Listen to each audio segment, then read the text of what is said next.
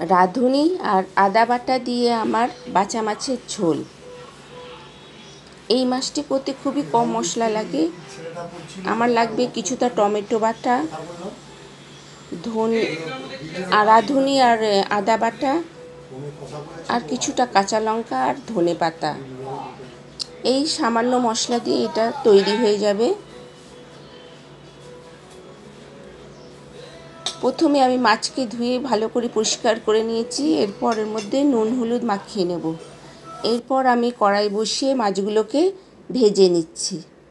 এর জন্য আমার লাগবে রাঁধুনি, টমেটো, কাঁচা লঙ্কা আর কিছুটা আদা। এগুলোকে আমি পেস্ট করে নেব। আমি কড়াই মাছ ছেড়ে ভালো করে ভেজে নিচ্ছি।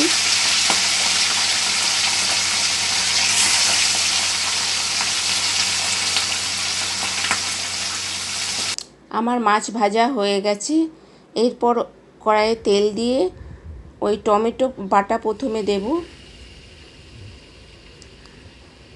টমেটো বাটাটা একটু ভাজা ভাজা হয়ে গেলেই ওর মধ্যে আমি রাঁধুনি আর আদা বাটা একসঙ্গে বাটা আছে, ওটা আমি দিয়ে দেব।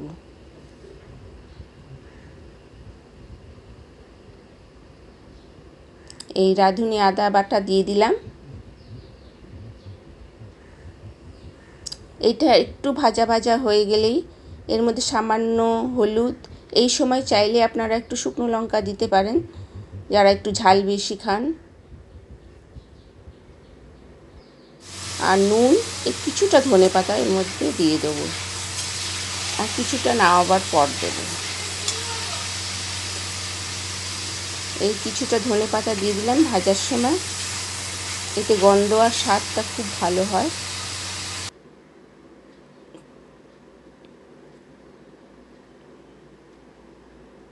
এরপর এটা আমার ভাজা ভাজা হয়ে গেছে।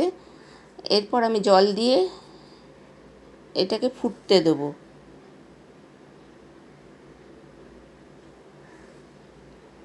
কিছুটা জল দিয়ে ফুটতে উঠেছে। এবার আস্তে আস্তে আমি মাছগুলোকে ছেড়ে দিচ্ছি।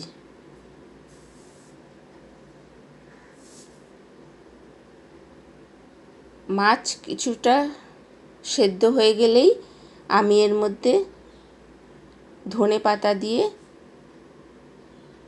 এটাকে ধনে পাতা আর কাঁচা লঙ্কা দিয়ে, ধনে পাতা আর কাঁচা লঙ্কা দিয়ে নাবিয়ে নেব। খুব সহজেই তৈরি হয়ে গেল এই মাছের ঝোলটি।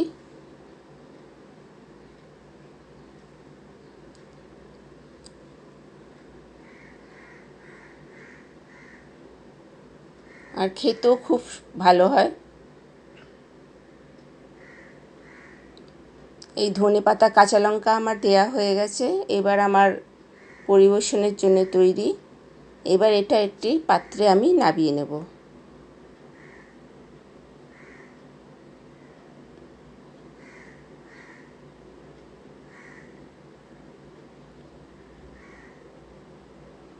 এইভাবেই তৈরি হয়ে গেল আমার বাঁচা মাছের ঝোল, টমেটো আর রাঁধুনি বাটা দিয়ে।